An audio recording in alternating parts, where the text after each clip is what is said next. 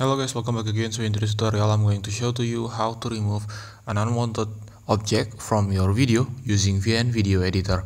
So you can do this even without, even using your phones only, maybe your Android phones or iPhone.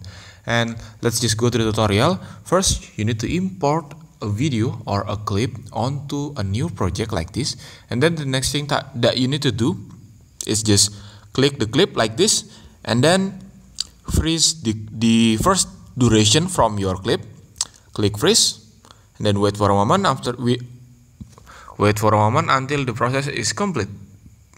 The next thing that you need to do is click the first clip and then send it forward like this and increase the length of the duration have a same duration as the main clip.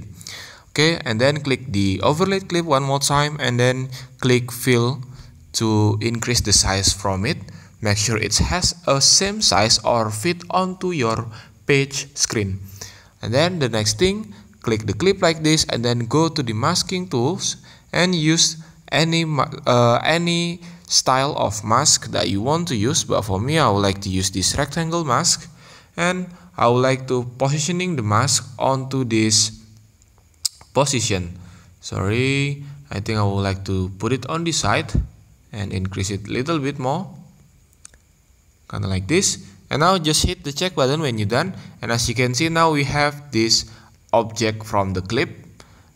Okay and then the next thing that you need to do is place the object that you are masked before onto the exact position where do you want to remove an unwanted object from your video.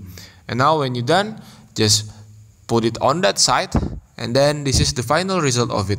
As you can see now we don't have any uh, we have this result from the video that has no uh, spoon object from it. So yep that's the way to do that. Thank you for watching. Don't forget to like comment and subscribe